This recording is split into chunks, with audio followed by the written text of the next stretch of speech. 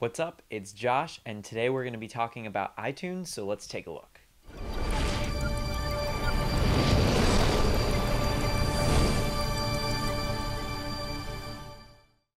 Hey guys, what's up? It's Josh. It's been quite some time, um, but I'm really excited to get back into some video making.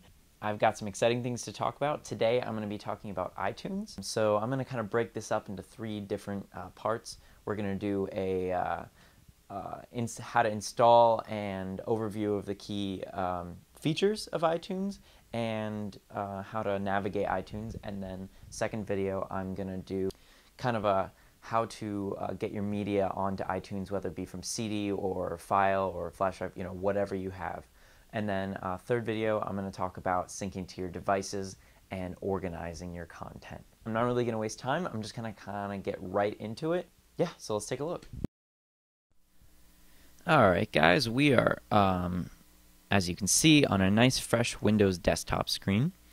Um, so if you've never installed iTunes before, uh, I'm just going to go ahead real quick and show you how to do that.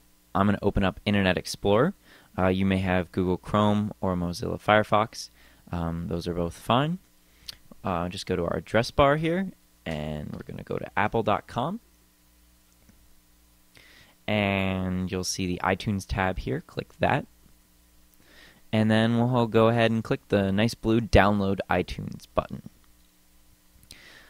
This uh, big blue button here is where you're going to want to download. Don't worry about any of these things. It doesn't actually need your email address to download. So um, pick a good place to save the file. I'm going to go ahead and save mine in the Downloads folder. It's already in the Downloads folder, so I won't go ahead and actually save it. But um, for now, that's okay. Um, if you're in Google Chrome or Firefox, it's probably just going to automatically download, uh, go to your downloads folder, so that's not a problem. So go ahead and click Save. I'm just going to hit Exit since I already have it saved there. Okay, so go ahead and open up your downloads folder or wherever you saved it, and go ahead and run the setup. Um, it's pretty easy. You just uh, go through the steps here. It asks if you want a desktop shortcut and if you want it to be the default player. Those are okay for me. Um, and it wants access to your computer, so just hit yes. Um, this could take a couple minutes. Um, once you accept everything, it's going to go through its thing, and like I said, that could take a couple minutes, so I'll just come back here when it's done. Okay, so mine's done installing, so I'll just have it go ahead and open right up.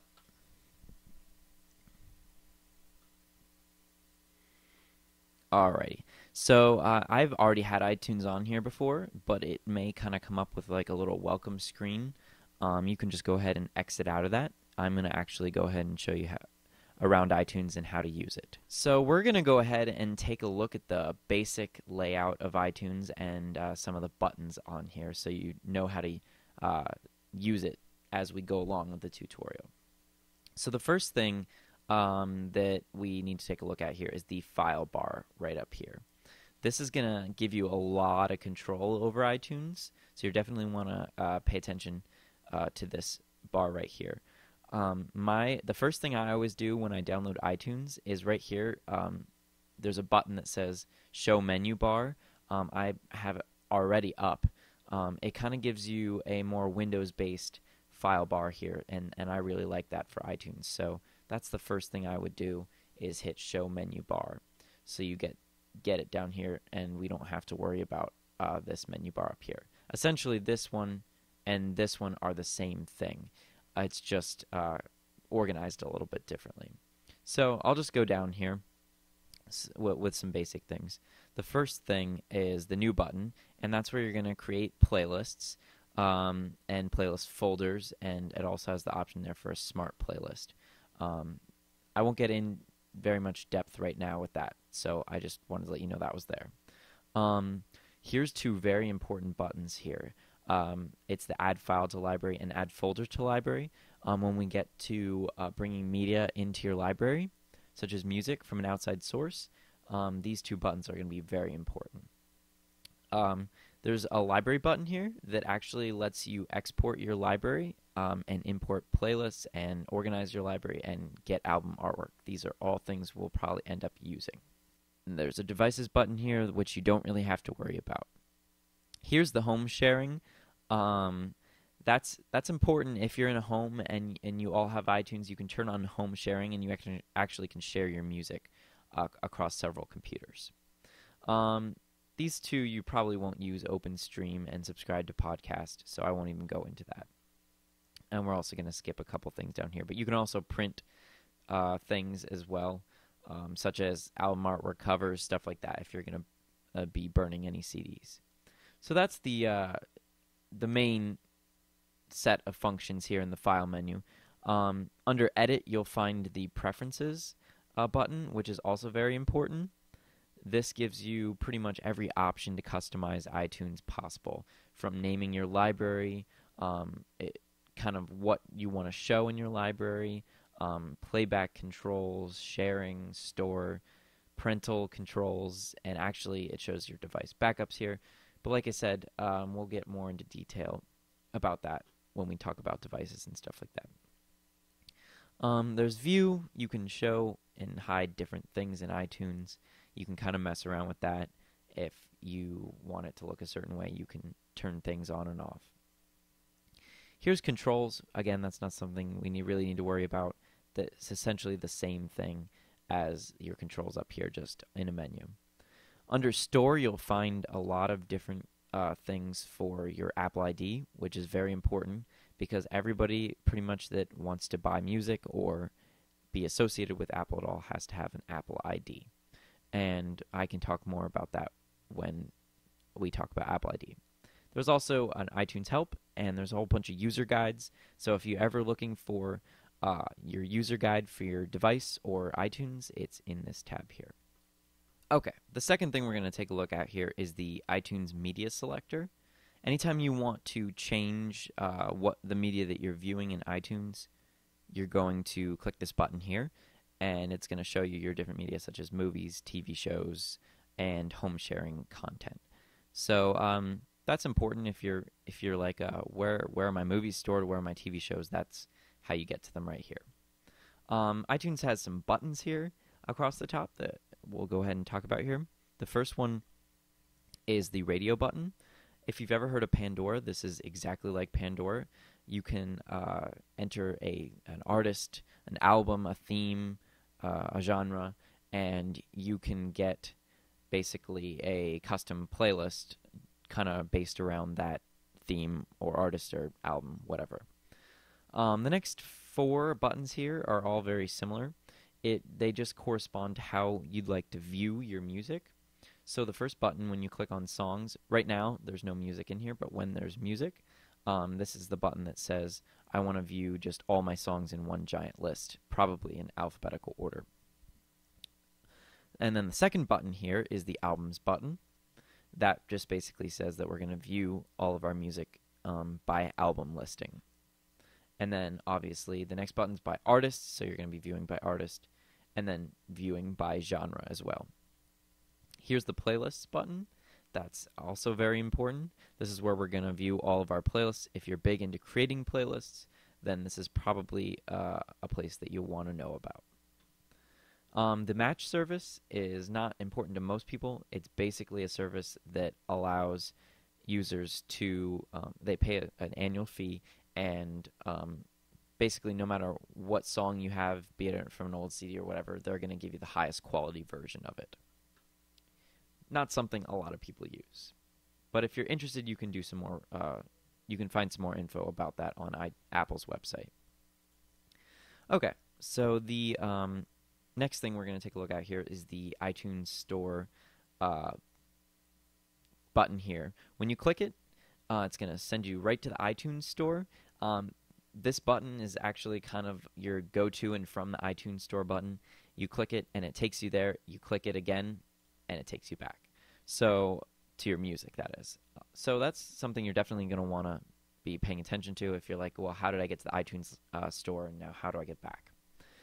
So, iTunes Store is a very important place. Um, it, it basically has all the world's music in one place, and you can purchase um, purchase it here. You can even you can rent TV shows, you can buy movies, you can buy TV shows, you can do just about everything in the iTunes store. it's essentially like walking into a giant CD shop. um, so I'll go just go ahead back to the library here. Don't worry about this button for now. Um, that'll become important later as we get into some music. The last thing we want to take a look at are uh, just the top controls here. Um, basically, right here are your play uh, and pause button right here, and your go back a track, go forward a track, um, and here's your volume slider, uh, and those are your player controls. Over here we have uh, the search field, so anytime you're searching for a specific song, album, artist, whatever, you can type that into there and search for it. Uh, same thing comes from when you're with in the iTunes store. Uh, when you search into that bar, uh, you're going to be searching the entire iTunes store. Okay, guys, before we get finished here today, I want to talk about one more final thing that we we really should get set up before we go any further with iTunes, um, and that is setting up an Apple ID or basically your your personal relationship with Apple. Um, basically, if you want to do anything in the realm of the iTunes Store or uh, getting album artwork or or anything in that field, you're going to want to set yourself up with an Apple ID it, it really is who you are, especially if you have a device like an iPod Touch, an iPhone, anything like that. They're gonna want an iPhone uh, or an Apple ID. So it, if you've already done this before, you can just kind of skip through this part. But uh, I'm just gonna go ahead and show people how to set up an Apple ID. So if you just click the Store tab here, um, and remember, like I said, if that bar menu bar here isn't showing, you can just simply show it by going down here and clicking Show Menu Bar. So you just hit the Store tab here, and we'll go ahead and click Create Apple ID. So it's going to ask you for uh, some information, uh, most important of which is your credit card information. Now, they're not going to charge you for anything uh, unless you actually go ahead and purchase stuff on your credit card. Um, so you don't have to worry about that. Also, a side note if you plan on purchasing an iTunes gift card at a local store or anywhere like that, you do have to have an Apple ID to redeem that code. So, um, to begin, just go ahead and click continue. Um, they're going to ask you for their lovely uh, terms and conditions to be accepted. Basically, it's just saying that you won't do anything illegal, so go ahead and hit agree. So uh, basically, they want an email address and a password, and that's going to be your your login and password for your I- Apple ID. So think of uh, a, re- a good password. I know there's requirements, normally uppercase, lowercase, and a special character, and a number. Um, it's also going to ask security questions. I know that you think those are dumb. I would recommend writing them down. It is very important that you have the answers to these in case you forget your password down the line. I would also recommend attaching a second email address if you have one, one that's different so that just in case you get locked out of your email address for any reason that you will be able to get access to your account. Your date of birth is also important to them just so they know you're old enough to have an account and also so that they uh, can use that as a security question later on. I would go ahead and uncheck these two boxes here, um, which is you'd like to receive emails. Um, I can't really go on to the next step without entering my perf- my own personal information. So uh, I can just tell you what's up next. It's going to ask for your credit card information and basically a confirmation step. Once you have that, um, you're basically signed into your computer. It should automatically sign you in. Uh, so in, in place of this little sign in button up here, you're going to see your email address and you're all set up to uh, use your Apple ID. All right, guys. Um, that concludes the first segment of my video. Like I said, that was just more of an introduction to iTunes. I want to go in depth in the next two videos.